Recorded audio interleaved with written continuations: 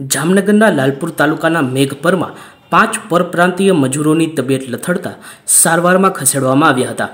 પાંચેય મજૂરોએ ગઈકાલે ઈંડાની ભુરજી અને ભાત આરોગ્યા હતા, જે પછી પાંચેય મજૂરોને ફૂડ પોઈઝનિંગ થઈ ગયું હોવાનું નિદાન થયું હતું. ઓરિસ્સાના વતની દીપુ ભગવાનભાઈ સાહુ નામના મજૂરનું મૃત્યુ નિપજ્યું છે, જ્યારે અન્ય ચાર મજૂરો સારવાર હેઠળ છે. રાજ્યના કૃષિમંત્રી રાઘવજી પટેલે Dared GIDC plot and shed એસોસિએશનના હોદ્દેદારો સાથે બેઠક યોજી હતી. આ તકે ઉદ્યોગકારોએ તેમની વિવિધ સમસ્યાઓ અને માંગણીઓ રજૂ કરી હતી. કેબિનેટ મંત્રી રાઘવજી પટેલે ઉદ્યોગકારોની સમસ્યાઓ હલ કરવા પ્રયાસો કરવાની ખાતરી આપી બ્રાસ સિટી તરીકે જામનગરની વૈશ્વિક ઓળખ વધુ ગૌરવશાળી બનાવવાની વાત કહી હતી.